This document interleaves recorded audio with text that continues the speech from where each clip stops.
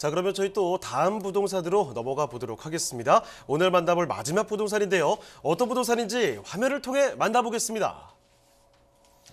서울시 서초구 반포동의 다세대 주택입니다. 소개드리는 반포동 주택의 위치부터 살펴보겠습니다. 3호선, 7호선, 9호선이 모두 지나는 고속터미널역에 인접한 위치의 자리에 지하철 이용은 물론 광역교통망 또한 편리하게 이용할 수 있습니다.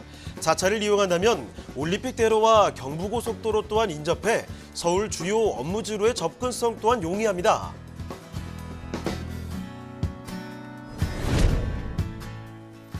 반포동 하면 다양한 생활 인프라를 빼놓을 수 없는데요. 대학병원, 백화점은 물론 인근 카페거리에서는 도심 속 여유를 즐겨보실 수 있습니다. 녹지 환경 역시 주거지 필수 체크사항인데요.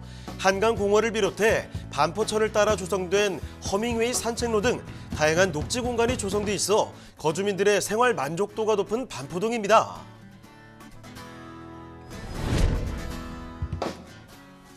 서초구 반포동의 기대감이 더해지는 이유. 반포동 일대에서는 현재 대규모 재건축 사업들이 진행 중에 있습니다. 한강변을 따라 총 16,000여 가구 이상의 새 아파트가 지어질 예정인데요. 이번 사업들이 마무리된다면 입지와 교통, 학군을 모두 갖춘 반포동은 살기 좋은 주거지역으로서의 입지를 더욱 탄탄히 하게 될 것이라고 기대됩니다. 다양한 생활 인프라와 대형 개발 소식으로 기대감을 모으고 있는 서울시 서초구 반포동의 다세대 주택입니다. 자 이번엔 서울 서초구 반포도 강남권 일대로 왔습니다. 아, 다세대 주택을 살펴드릴 텐데요. 어떤 주택인지 개요부터 먼저 보겠습니다. 개요부터 살펴주실까요? 네, 서초구 하면은 지금 현재도 서울시뿐만 아니라 전국에서 최고의 아파트 가격을 찍는 그런 곳이기도 합니다. 어, 지금 이 물건 같은 경우는요, 3호선과 7호선, 9호선 세 개의 호선을 이용하실 수 있는 고속버스 터미널에서 도보가 가능한 그런 곳에 있습니다. 어, 지금 현- 전용 면적은 29.28평방미터 정도 되고요. 실사용 면적은 39평방미터, 한 16평 정도 규모로 좀 널찍한 투룸이다라고 말씀을 드릴 수 있습니다. 총 6층 중에 2층을 말씀드리려고 하고요. 어, 지금 현재 투룸 구조로 되어져 있고 거실이 좀 넉넉한 그런 구조이면서 풀 옵션으로 제공이 되는 그런 곳이기도 합니다. 어, 인덕션뿐만 아니라 에어컨 두 대 또 공기청정기까지 세심한 배려로 만들어진 그런 곳이기 때문에 옵션 중에 최고치를 보실 수 있는 그런 곳이기도 합니다. 2021년도 지금 10월에 준공이 완공된 그런 곳이기도 합니다. 매매가는 6억 5,500만 원을 예상하고 있습니다. 자 그러면 건물의 특징도 이어서 설명해 주실까요? 네, 건물은 지금 베이지색의 대리석으로 만들어져 있고요. 1층에는 어, 입주민들이 같이 할 수 있는 그 택배함이라던가 커뮤니티 공간들이 좀 널찍하게 만들어져 있는 그런 곳이기도 합니다. 1층에 피로티로 주차장이 확보되어져 있기 때문에 입주민들의 주차가 굉장히 용이한 그런 곳이기도 합니다.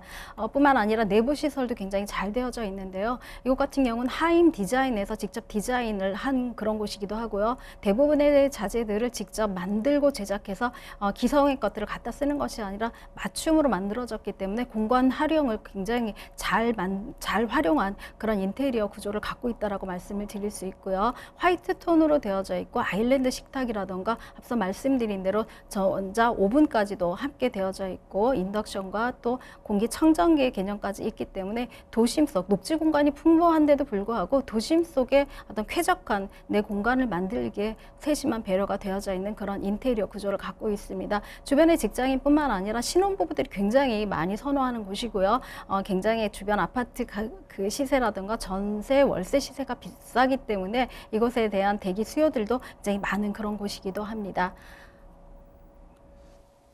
자, 지금 살펴드리는 곳 준공된 지 1년 조금 더 지난 정도, 그러니까 신축 건물로 살펴드리고 있다라는 점 말씀을 다시 한번 드릴게요. 어, 내부 모습 보셨죠? 굉장히 잘 만들어져 있습니다. 두름 구조에 아, 깔끔하게 인테리어도 잘 나와 있고 거기에다가 옵션들도 충분하게 들어가 있으니까 이런 점 기억해 주시면 좋겠네요. 자, 건물에 뭐 어디 부족한 점이 전혀 없는 곳이라는 점 다시 한번 강조를 드리겠고 그러면 서초구 반포동 이 일대 장점들도 정말 많거든요. 지금부터 세세하게 소개를 해드 리겠습니다. 입지 여건부터 더 자세히 풀어주시죠. 네.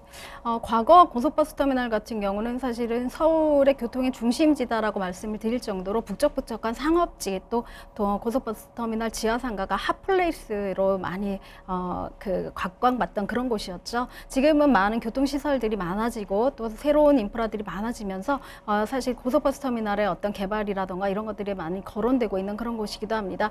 그래도 지금 현재 세 개의 트리플 역세권입니다. 3호선과 7호선, 9호선 고속버스 터미널을 도보 한 10분 정도로 이용하실 수 있는 그런 곳이기 때문에 역세권에 있는 그런 어, 물건지다라고 말씀을 드릴 수가 있고요. 고속버스 터미널답게 어, 각자 외곽으로 빠져나갈 수 있는 IC라던가 그런 양재 IC, 그다음 경부 고속도로 진입할 수 있는 곳들이 굉장히 용이하고요. 그다음에 올림픽도로라던가 또 강변북로로 이용할 수 있는 그런 교통의 사통 팔달 요지에 있다라고 말씀을 드릴 수가 있습니다. 이런 고속버스 터미널 인근에 있는 그뭐 아파트라던가 주변에 있는 그런 그 시설들이 굉장히 어, 굉- 고급화된 그런 곳이기도 하고요. 이런 곳에 있는 교통 시설의 그 기존 인프라에 더불어서 한강 시민공원이라던가 반포천 등의 개발로 굉장히 쾌적한 그런 자연 환경까지도 같이 누릴 수 있는 그런 곳이기도 합니다. 서리풀 공원이죠. 굉장히 큰 공원 안에 지금 서리풀 터널이 연결이 되면서 강남권과 바로 연결할 수 있는 그런 교통의 그런 시간적인 단축들도 갖고 있어서 강남 직장인들 의 유입도 굉장히 많은 그런 곳이기도 합니다.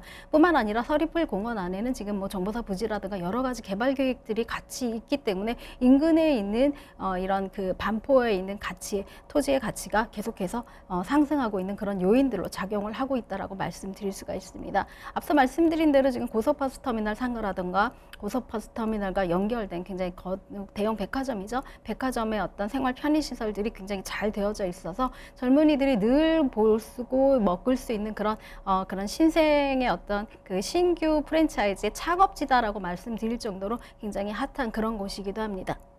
뿐만 아니라 대형 병원들, 강- 성심병원이라던가 카톨릭 병원 등이 옆에 있기 때문에 어, 병의원 시설을 이용하시는 분들, 또 서초역에 있는 어떤 법조인이라던가 이런 직장인 군들까지도 어, 같이 확보할 수 있는 그런 곳에 입지했다라고 말씀을 드릴 수 있습니다. 어, 정보사 부지 같은 경우는 거의 한 200, 200, 한 20, 20만 평방미터 정도의 부지에 어, 아시아의 실리콘밸리를 만들겠다는 그런 포부로 높은 층이 아니라 좀 저층의 오피스 타운으로 만들 예정 에 있다라고 합니다.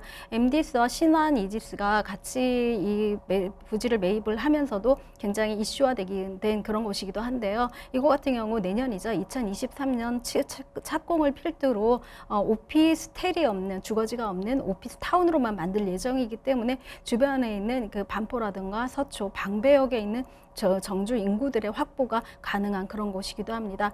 4차 산업이죠. 그런 그, 그 아시아에 있는 실리콘밸리화 시키겠다라는 그런 포부로 만들어진 정책적인 전략적인 요지이기 때문에 이곳에 있는 직장인의 고연봉들 고 연봉의 어떤 고소득 직장인들이 들어올 예정에 있어서 이곳에 있는 고급화된 어떤 주거지를 선호하는 또 더 고급화될 만한 그런 곳으로 자꾸 만들어지는 그런 곳이기도 합니다. 분양가들이 자꾸 높아지는 그런 곳이기도 하고요. 안에 내부 시설들이 거의 호텔급 이상으로 만들어지는 그런 이유이기도 합니다. 뿐만 아니라 경부 고속도로 지하화에 대해서는 이미 연구 용역이 끝난 이후 올 연내 착공을 앞두고 있다라고 막 해서 말씀을 드리는데요. 지금 현재 어, 그 경부 고속도로로 들어가는 진입로를 어, 지하화 시키고 또 경부 고속도로에서 양재 IC까지 지하화가 먼저 일차적으로 이루어진다면 그 위에 만들어지는 그 공원이죠. 어, 그 상부에 있는 한 19만 평방미터 정도의 그 녹지 공간들을 확보할 수 있기 때문에 기존의 경부 고속도로라던가 정체되는 그 자동차로 인한 매연들로 좀 시달렸던 서초 구민들 이라면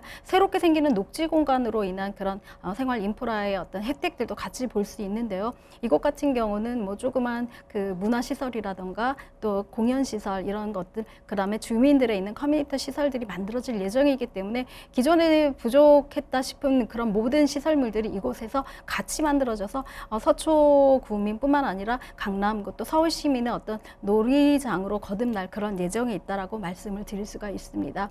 이 반포 재건축 건축이라던가 지금 한참 진행 중에 있고요. 또 방배 재개발 산업들도 진행 중에 있기 때문에 이것이 완공이 된다면 주변에 있는 어, 최고가죠. 우리나라에서 보면 어떻게 보면 최고가의 아파트 시세들을 안정화시킬 수 있는 그런 곳이다라고 말씀을 드릴 수 있습니다. 이렇게 반포 이곳 물건지 앞에 있는 고속버스 터미널뿐만 아니라 경부고속도로 지하와 또 정보사 부지의 어떤 오피스 타운의 이런 호재들의 진행이 굉장히 어, 진, 착, 그 굉장히 가속도를 붙어서 진행 예정에 있고 이미 착공을 하거나 또 이주 계획까지도 만들어지고 있기 때문에 어, 지금이 훨씬 더 투자하기에 적합한 기회가 아닐까 싶습니다. 네, 고속버스 터미널역 인근에 위치하고 있습니다. 고터라고 흔히들 부르죠. 자, 이쪽에 훌륭한 인프라와 함께 한강도 가깝고요. 그리고 주변에 뭐 재건축, 재개발 이야기까지 호재들도 잔뜩 가지고 있습니다. 자, 그러면 지금 살펴드리는 반포동 주택 가격까지 한번 알아볼게요. 가격 전략은 어떻습니까? 네, 가격은 2021년도 10월 달에 중 분양 가격이 확정된 곳입니다. 한참 뭐 토 그 부동산 가격이 상승기에 만들어진 거기 때문에 그 후에 상승된 여부에 대해서는 사실 반영이 안 됐다라고 보시고 또 좀 저평가됐다고 말씀을 드릴 수가 있는데요. 대지 지분이 투룸치곤 좀 큽니다. 여섯 평으로 만들어져 있고요. 분양가는 6억 5,500만 원 정도이고 실사임 면적 16평 정도 규모이고요. 이 예상 임대가가 한 5억 5,500만 원 정도를 생각하고 있기 때문에 어, 실투자 금액은 한 1억 원 정도로 앞으로의 개발 호재가 많은 서초구에 투자를 하실 수가 있습니다.